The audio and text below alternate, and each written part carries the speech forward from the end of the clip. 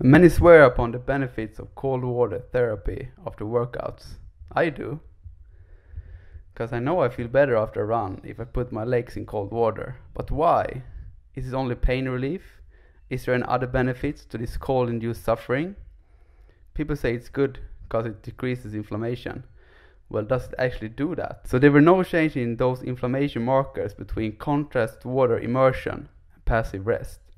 Some say it's bad because it inhibits natural processes after a workout. So yes, there are some truth to that. But does it translate to decreased performance? It reduced rated fatigue of DOMS, delayed onset muscle soreness. And it seems that it worked for young soccer players. Why?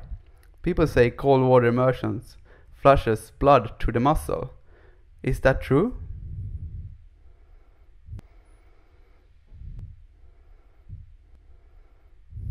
Yes, and it also reduces swelling.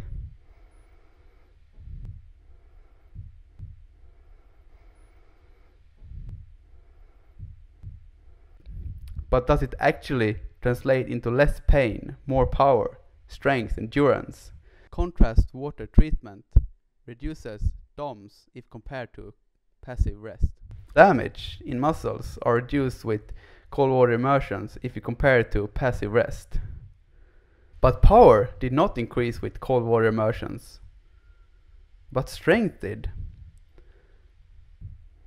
So is there any difference between contrast water therapy and cold water immersion?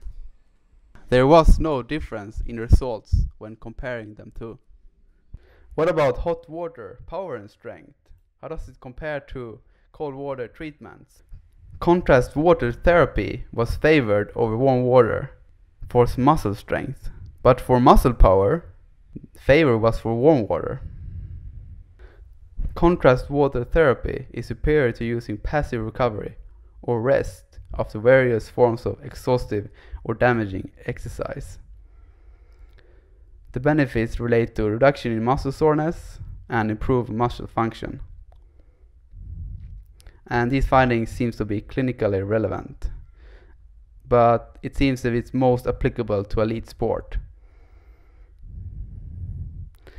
and there is no data available on determining an optimal method of cold water therapy. So it's suggested that you have many recovery processes.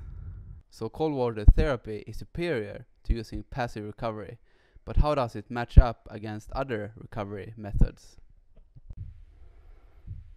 So it seemed that there were no differences in contrast water therapy cold water immersion, active recovery, compression or stretching. However, cold water therapy significantly decreases muscle soreness in comparison to warm water immersions recovery. In the meta study, almost 95% of the included studies used a cold water immersion temperature of between 10 to 15 degrees, and they have a continuous immersion for between 5 to 24 minutes. So I recommend cold water immersion for 5 to 24 minutes in a temperature of 10 to 15 degrees.